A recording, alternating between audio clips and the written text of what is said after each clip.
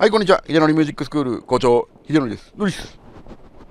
弾きたい曲があるのに曲の中に出てこない基礎練やフィジカルを鍛える筋トレみたいな練習ばかりしてしまいますその人のレベルによると思いますがどれくらいの割合で基礎練と曲の練習を解分したらよいでしょうかこれぶっちゃけ言いましょう基礎練やんなくていい基礎練っていうのは時間があり余ってる人がやるもんぐらいで思っといてねスケール練習はスケール覚えるためにしていいと思うんですよね。当然テクを鍛えるっていうのもありますけど音楽理論的なところもあるじゃないですか。なのでそれは基礎練ですけどまあそれはやっていいとして基本的には曲をコピってる方が効率はいいですよ。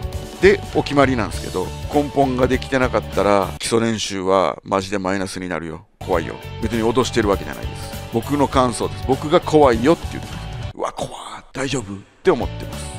結局そこなんですよねだって備わってないと基礎練を生かかせないもんね練習が練習になってないんやからマイナスの練習になってるから根本マスターパッケージの販売が開始されました。買い引きマスターパッケージと違ってですね、とにかくギターを弾く上での全ての動きをできるようにしようという秀則ミュージックスクール13年の歴史が詰まった完璧な教材が出ております。ぜひぜひご購入ください。概要欄からどうぞ。さあ根本を鍛えよう。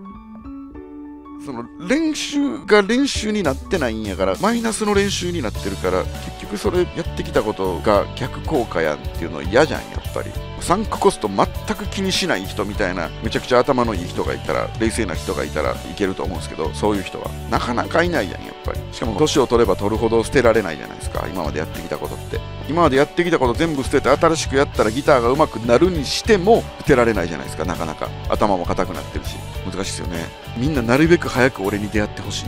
本当に。早く俺に出会ってくれ。早く俺のとこに来てくれって感じなんだよね。というお話でした。次回の動画でお会いしましょう。バイバイ。